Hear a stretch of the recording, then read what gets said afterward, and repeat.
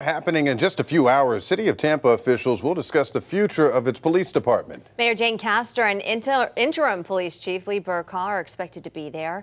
This morning, 10 Tampa Bay's Megan Myers is live outside TPD headquarters ahead of the meeting. And Megan, what do we know about this morning's message?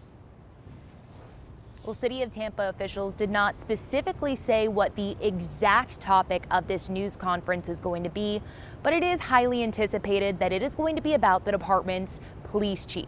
Now, taking a look at the history of this position within the Tampa Police Department. Back in December, former Tampa Police Chief Mary O'Connor resigned from her position. This came after a video emerged of O'Connor being pulled over on a golf cart in Pinellas County. That incident happened on November 12th. O'Connor was on the cart with her husband. Here's a look at that body camera video. Is your camera on? It is. I'm the police chief in Tampa. Oh, how you doing? I'm doing good. Okay. I'm hoping that you'll just let us go tonight. Oh, okay. Yeah, I'll say you. Uh, now that you say I, I, you look familiar, so. Yeah, I'm, I'm sure I do. Now, after this incident took place, City of Tampa officials did appoint Bercaw as interim police chief for the Tampa Police Department, and since then he has served in that role.